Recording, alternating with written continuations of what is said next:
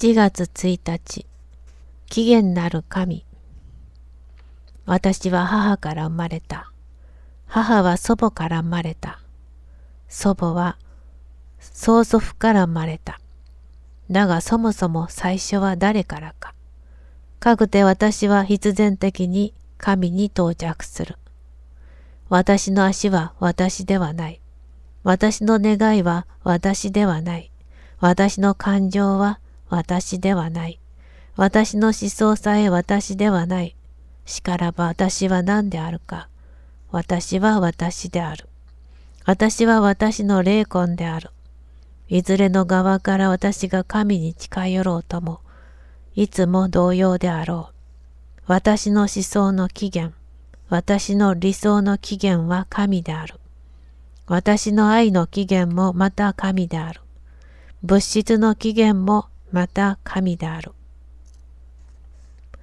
7月2日、新宗教。神及び信仰におけるある総論は、自分の生涯を捧げうると感ずる大きな素晴らしい思いにまで自分を連れて行った。その思いとは人類の進歩に適応した新宗教、すなわち独断や神秘を取り去ったキリストの宗教、未来の祝福を約束するのでなく、この地上において幸福を与えるところの実際的宗教の樹立ということだ。この思いはもちろん、その目的に向かって働く幾代の人々によってのみ達せられるのを知る。ある時代は次の時代にまでこの思いを伝え残す。そして何日か強熱か理性かのいずれかによって実現される。宗教をもて人類を結合するために自覚的に働くことがそれが自分を霊感せしむるならんことを願う。自分の思いの根底である。7月3日、自然と人。山が、山が、山が、彼の思想や感情をすっかり取り込んでいた。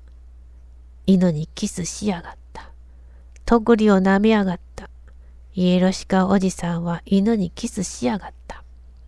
窓の下にコマを押し込みながら、急に子供はこう叫んで、街角の方へかけていった。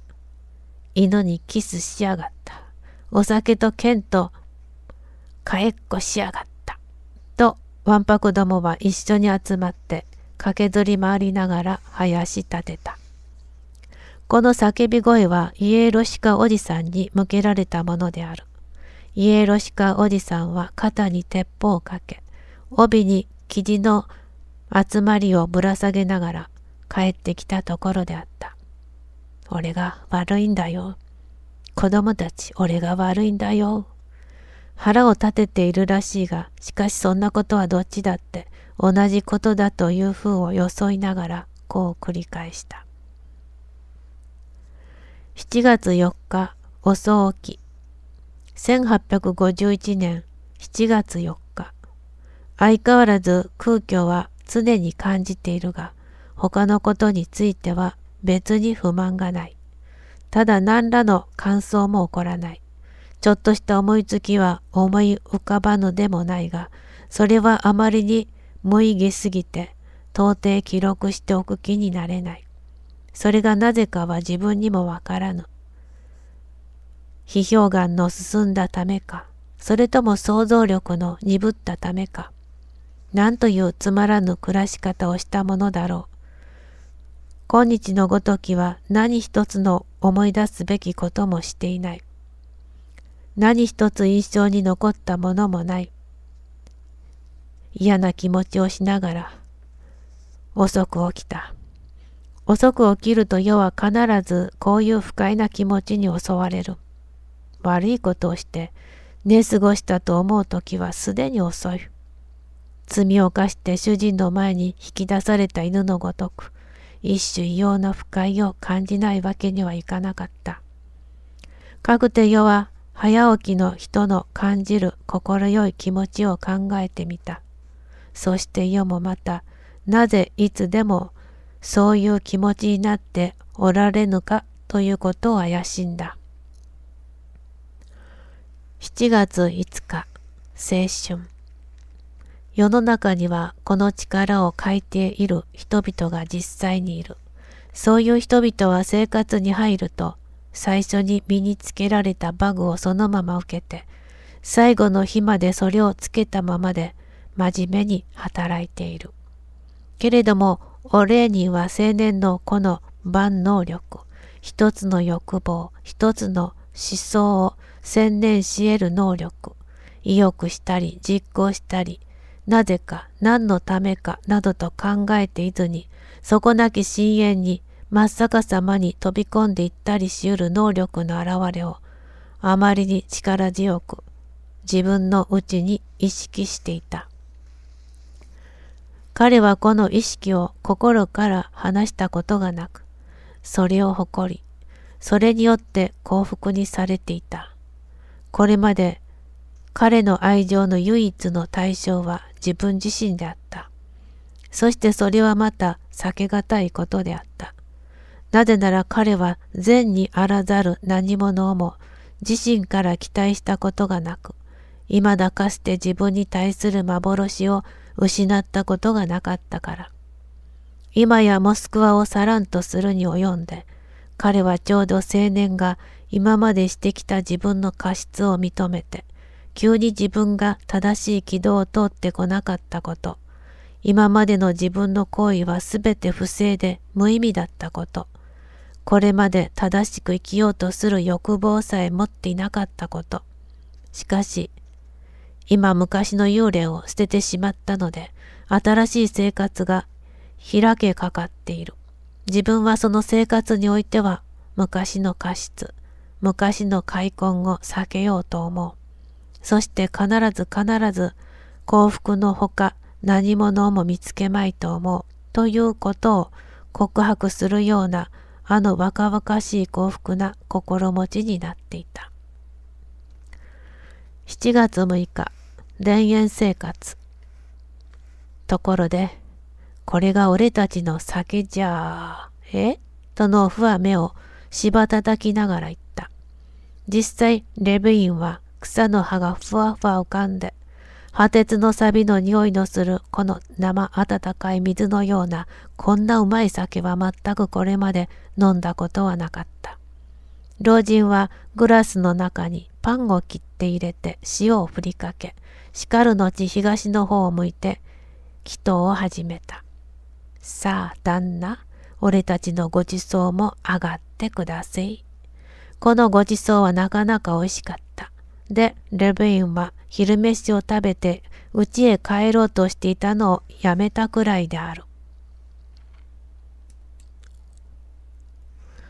7月7日、キリストの命令。まあ、お前、自分の霊のことを考えてみろ。物事をこんな風にしておいてよいものか？お前が俺に一言言う。俺がお前に二言言い返す。お前が俺を一つ平手でピシャリとやる。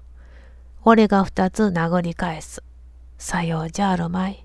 キリストは地上方々悪気なすったが、そんな馬鹿げた真似をしろとは我々にお教えにならなかった。しかし、一言お前に言うものがあったら、お前はじっと黙っていろ。言った者自身の良心が咎めてくれる。そんな風にしろと、キリストは我らにお教えなされたのじゃ。誰かがお前を殴ったら、お前は一方の方を向けて、ここを打ちなさい。もし私がぶたれるようなことをしたなら、と言うんじゃ。そうすりゃ、向こうの両親が自分をつっつく。相手は謙遜になって、お前が言うべきことも聞くようになる。そんな調子にしろとキリストは我らに命令なされたのじゃ。だから決して意固地にはなるな。なぜお前は何とも言わないんじゃ。俺が言ってることを本当とは思わぬか ?7 月8日、子供の純愛。だが単に母ばかりと限らず、父をはじめ漁者に至るまで、幼年時代の私を取り巻いている人々は皆、なんとなくことさら良い人のように思われる。多分これは清い、そして愛のある私の子供心が、ちょうど鮮やかな光線のように人々のうちにただ良い性質を、それは誰にもある、ばかり求めかつ照らしたためであるに相違ない。またこれらの人々がすべてとりわけ良い人々に思われたということは、彼らのうちに欠点ばかりを認めることよりも、はるかに真実に近いものである。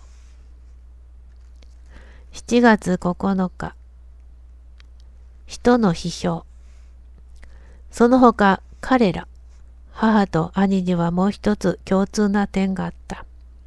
主にそれは人々の批判に対して平然たることであった。彼らは決して人の悪いことを言ったことがない。これも私が自分の兄を引き合いに出して保証するところである。私は兄と共に半生を送ったからよく知っている。胸ではよほど人のことを飽き足らなく思っても、口に出す時には機嫌よく嬉しそうな笑いを伴わせた。私の兄はいつもこういう風であったが、これと同じものが母の手紙の中に見出されるのである。それと同じものが彼ら二人を知っている者の口から聞かれるのである。7月10日、誠実。もう一つ、私の母には人と違った点がある。それは彼女の手紙の打ち解けていることと単純なことである。この時代には自分の感情を誇張して表すのが流行になっていた。で、類なきとか、神様と崇めたいとか、我が一生の喜びとかいうような言葉は、親戚間には盛んに使用せられた形容であった。そしてこうした惨事が華やかであればあるだけ、誠実は少ないものであった。7月11日、純潔都市。彼女は開墾なしに人生を去った。彼女は死を恐れないで、それを祝福として受けた。これはしばしば言われることであるが、それが本当であることはいかにも稀である。ナターリアサ・イシュナは信仰のうちに福音の立法を果たしつつしっかりと死んだので、死を恐れることができなかった。彼女の全生涯は純な、非利己的な愛と自己犠牲とであった。もし彼女の心情がもっと高かったら、彼女の生活がもっと高い目的に捧げられたのだったらどうか。そういうわけでこの清い魂が愛と賛美と受ける資格が少しでも減ずるであろうか。彼女はこの世において一番良い、一番立派な行いを果たした。彼女は開墾も恐怖もなしに死んだ。7月12日、猫の悪形。一羽の和紙が木の上に巣を作った。そして数羽のヒナを返した。それから信太もその木の下へ彼女の藁床を運んできた。わしはいつも餌を探しに飛び出しては持ち帰ってヒナに与えた。豚は木の周りを鼻で掘ったり、森へ狩りに出かけ、夜になるとこのために食物を持って帰った。そして和紙と豚とは隣同士の親しさを持って住んでいた。一匹の年取ったメス猫が、ひなわしと小豚とを殺してやろうと工夫を凝らした。わしよ、お前はあまり遠くへ飛んでいかない方がいいよ。のぶたに注意しないといけないよ。豚は悪い企みをしているよ。豚は木の根を掘ろうとしている。お前はいつも豚が鼻でつついているのを見るだろう。それからメス猫は豚のところへ行って言った。豚よ、お前は悪いものを隣り合わせにしている。昨夜私はわしがひなに行ってるのを聞いた。かわいい子たちよ。今においしい小豚をご馳走してあげますよ。豚がよそへ行ったらすぐに小さい若い豚を持ってきてあげますよ。その時からわしは餌を探しに出るのをやめた。また豚も二度と森へ行かなくなった。わしと子豚は飢えて死んだ。そしてメス猫はそれを食ってしまった。7月13日、床下のネズミ。一匹のネズミが蔵の中に住んでいた。床に小さい穴が開いていて、米粒がそこから溢れ落ちてきた。ネズミの生活は幸福であった。がその生活ぶりを他の者に見せてやりたい望みが起こってきた。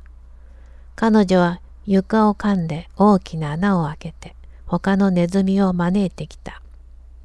おいでと彼女は言った。ごちそうするよ。お前たちの食べるだけ食べ物は十分にあるよ。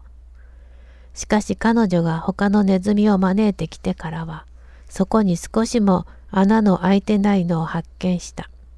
それは百姓が床に大きな穴が開いているのに気がついて塞いでしまったからであった。7月14日、道を求めて。その年の間、自分は孤独な自己のうちにのいて、道徳的生活を送った。人間の運命とか、将来の生活とか、または心霊の不死とかに関したあらゆる抽象的な疑問はすでに自分の前に横たわっていた。そして自分の幼い弱い母性は無経験の熱心をもって人間の理解力が到達したもう認識の最高度を予想するようなこの難問題を解決しようと努めた。ある春の朝、召使いの者が窓の戸を上げるのを手伝っていると、急に自分はキリスト教徒の犠牲の歓喜と満足とを感じた。こうして自分を苦しめて、ニコラス、召使いの名のために働いてやりたいような気がしてきた。自分はこれまで全く馬鹿であった。どのくらい善良で幸福であり得たか知れないものを、これからはきっと善良で幸福になるのだと独りごちた。自分はすぐにこの瞬間から別人になって新しい生涯を送ることにしよう。7月15日、本質と表彰。心の中ではこのように美しく明白ではあるものが、何故紙の上に落とすときには、かかる見苦しいものとなって現れることだろう。一般に人生の上でも理論を実際に移そうとするときには、やはりそれを見る。7月16日、自然と人間。人間は自然が生きるごとくに生きる。彼らは死に、生まれ、配偶し、再び生み、戦い、飲み、食い、楽しみ、そしてまた死ぬのである。そして自然が太陽や草や動物や樹木の上に課した普遍の条件の他には、特に人間に限られた条件の他には、特に人間に限られた条件というようなものはない。彼らは他に法則を持たぬ。従って彼らの幸福は自然と一つになるということにある。7月17日、狼と弓。漁師が弓と矢を持って漁に出かけた。彼はヤギを殺して肩にかけ、家に帰ろうとした。その途中彼はイノシシに出会った。漁師はヤギを下ろしてイノシシを撃って傷を負わせた。イノシシは漁師に飛びかかり、牙を立てて漁師を突き殺した。それから自分も息が絶えてしまった。狼が血の匂いを嗅いで、ヤギとイノシシと漁師と弓とが横たわっておる場所まで来た。狼は大変喜んで独り言を言った。さあ、私は長い間、食べ物に不自由はしないぞ。が一度に皆食い尽くすようなことはすまい。一つも無駄にならないように一度に少しずつ食べよう。まず硬い部分から食べて、それからうまいところをごちそうになろう。狼はヤギとイノシシと人間とを嗅いでいった。この餌は柔らかいから後に食べよう。何よりも先にこの弓の鶴を食ってやろう。弓は、狼は弓鶴を噛み始めた。ところが食い切ってしまった時に弓がはじけて狼の腹を打った。そこで狼も死んでしまった。やがて他の狼が来て、漁師とヤギとイノシシと狼を食べてしまった。7月18日、実例。今や私は模範を示すには、ただ生活や生活の実例によるより他はないという信念を有するに至った。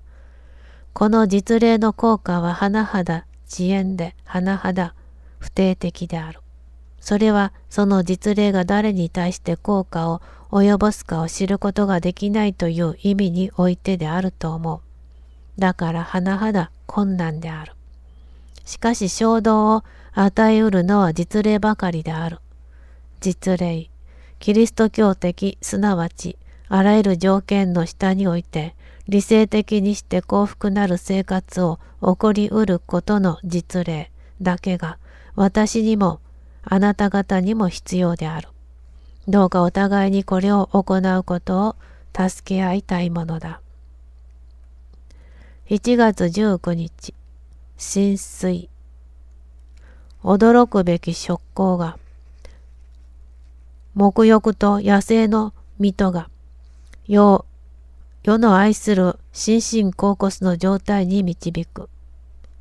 2ヶ月の間世は筆を取ったこともなければ、また物を考えたこともないが、今年のように神の世界を喚起したこともない。世は呆然として口を開きながら、何者かを失いはしないかという懸念のために、身動きすることも恐れて立ち尽くすのだ。7月20日、反労働。私のもう二つの問いに答えてくれ。王は言った。第一には、なぜ土はその時にはこのような穀物を生えさせたが、今はそうでなくなったのか？第二にはなぜお前の孫は、日本の種目杖をついて、お前の子は一本ついて歩いているか？そしてお前自身は一本も持たずに歩いているのか？お前の目は輝いている。お前の歯は硬い。そしてお前の言葉は明瞭で耳に心地がいい。どうしてこれらのことはそうなったのか？老人は答えた。これらのことがそうなったのは、人が自分の労働によって生活することをやめて、人の労働を当てにする習わしになったからであります。昔は人々は神様の立法に従って生きていました。彼らは彼ら自身のものだけを持っていました。そして人が作り出したものをむさぼりませんでした。7月21日、疑惑の日。私は人民の行列の終わっておるところに立ち止まっていた。私に近いところにいた者どもは、私が彼らを見つめなければならぬほどに私を見つめた。彼らの肉体を覆っておる酒残りの着物はいろいろの風をしていた。しかし彼らすべての者の目の表情は一様に、なぜお前は、高いから来たお前は、我々と一緒にとどまっているんだ？お前は誰だ？お前は我々の窮乏を見て喜び、気晴らしにお前の暇を潰し、そして我々を長老したいと思っている何不足ない富豪か？しかもまた存在することのできない我々を憐れむ人かと言っておるように見えた。7月22日無政府と制度無政府とは制度の欠如の意ではない。ただ人々が暴力によって服従することを余儀なくされておる制度の欠如であって、人々が自意志的に正当に服従するところの制度である。でなければ自分には理性を付与されたものの社会は組織されず、また存在することのないはずであるように考えられる。7月23日、金銭と奴隷。今や我々は、名目の上では奴隷の所有を拒みながら、しかも金銭のために、そして政府の強制徴収のために、金銭に対する我々の権利を要求するに至った。すなわち人の労力に対する権利を。7月24日、真の財産。我々の妻や子や奴隷や馬を我々の財産として要求することは、実際と矛盾した純然たる虚構である。そしてそれを信ずる者をして悩ましむるに過ぎない。なんとなれば私の妻や子は私の体が私に従うようには決して私に従わないからである。それゆえに私自身の体だけが常に私の真の財産と尊び得る唯一のものである。それゆえにまた金銭や財産は決して誠の財産ではない。しかしそれはただ慈義と苦悩の根源である。常に私に服従し、私の意識に結びつけられる私の財産というものは、ただ私の体ばかりである。7月25日、悪の根源。財産は一切の悪の根源である。同時に近代社会の一切の活動が向けられており、世界の一切の活動を指導するところのものである。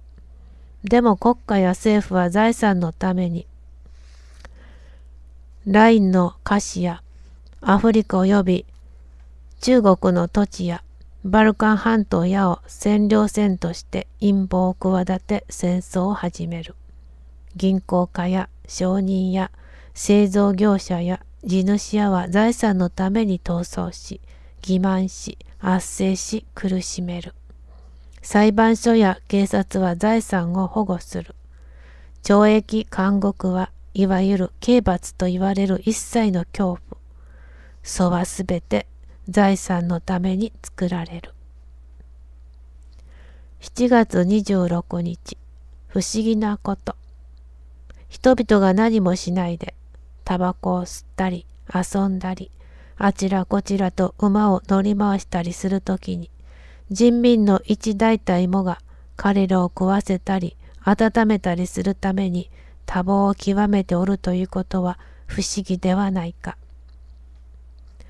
7月27日、女子の権利とは、いうところの女子の権利という問題は、真の労働の法則から離れた人々の間に起こったものである。またその人々の間にのみ起こり得たものである。その法則に乖離さえすれば、それでこの問題は消滅するはずである。自己に特有の闇がたい労働を子を産み育てること持っておる女は男の労働を分かつことの権利を要求することは決してあるまい。7月28日、二人の百姓。ある時二人の百姓が互いにすれ違おうとしたら、裾が絡み合ったので一人は叫んだ。私に道をお譲りください。私は大急ぎで町へ行かねばなりません。もう一人も言った。あなたこそ私を先に行かせてください。私も大急ぎで家へ帰らねばなりません。それで長い間、二人は言い争った。7月29日、女の奉仕。あなた方はすぐまたこれらの苦難の後、休みもなく中絶もなく、労働と苦難との他の一続きであるところの保育のそれらに取り掛かるとき、それを知る。そしてこれがためにあなた方は自分の感情を鎮め、強い人間の必要、すなわちことわざには父よりも母よりも心よいと言われている睡眠の要求をも退けるのである。幾月の間、幾年の間、二夜も続いて眠らないこともあり、週夜目覚めていることも稀ではない。ただ一人あちらこちらと歩きながら、その疲れた腕にはやめる英治をゆすりながら、英治の苦しみはあなたの心を裂くのである。誰にも認められず、見られずに、それに対して何らの奉仕も、報酬も予期することなく、あなたがそれをすべてなすときに、また偉大なる行為としてではなく、かの福音比喩における労働者のごとく、ただ自分の義務を行っているのだと考えながら、これをなしておるときに、その時にあなたは何が偽りの道家たる労働であり、人間の名声に対して、そして何が真の労働、すなわち神の意志の実行であるかを知り、自分の心の中に、この神の意志の指示を感ずるのである。もしもあなたが誠の母親であるならば、当然のものとのみ考えて、何人もあなたの労働を認めもせずに、たたえもしていないのみでなく、あなたが働いてやった人々ですら、あなたの恩に背くのみでなく、あなたを苦しめ、もし非難することが少なくないことを知っているはずである。その次の子供にもまたあなたは同一のことをする。再びあなたは苦しみ、再びあなたは認められない恐るべき信仰を繰り返し、再びあなたは何人からも何らの報酬をも求めないで、そして前と同じ満足を感じている。7月30日、子を産まない女。人工的に子供を産まないようにしていて、その容姿などで男を惑わす婦人について言うならば、彼女は男に勝っている女であるのでなく、かえって男に汚され、男の水準に引き下げられた女である。かくて、彼女は男と同じく彼女の義務から離れ、生活の合理的な意義を失っている女である。7月31日、憲布。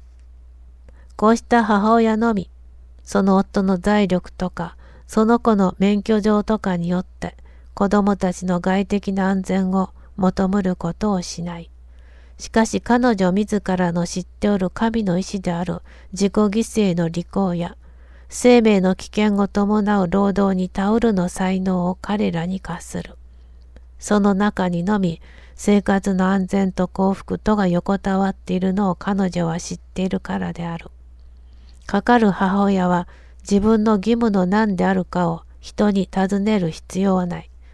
彼女は前からこれをことごとく知っている。そして何も恐れはしない。